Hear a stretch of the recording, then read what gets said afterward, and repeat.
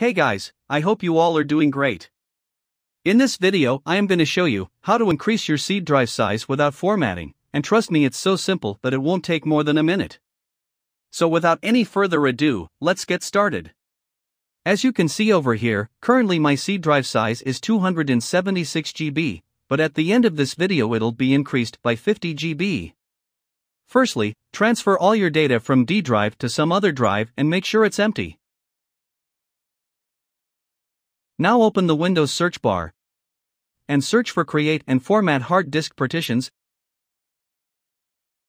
Open it.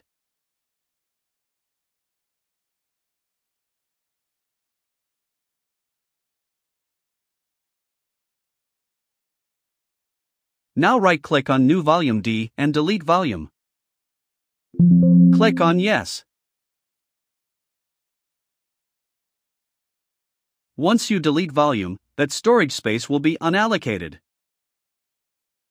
Now right click on Windows C and extend volume. Click on Next.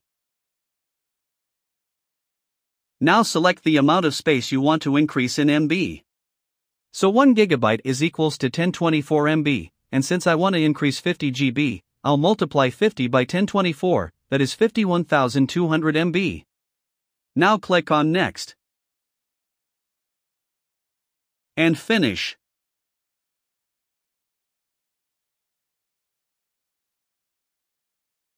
As you can see over here, my C drive is increased by 50 GB.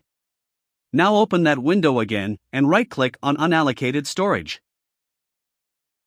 Create new simple volume.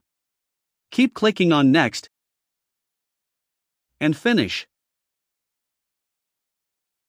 As you can see, we got our D drive back decreased by 50 GB, which is added to C drive. Basically, we took 50 GB from D drive and added to C drive. This is how you can increase size of your C drive. I hope you find this video helpful. If you did, then make sure you smash that like button. Also, don't forget to subscribe our channel for more such content. I'll see you in the another video. Until then, stay tuned.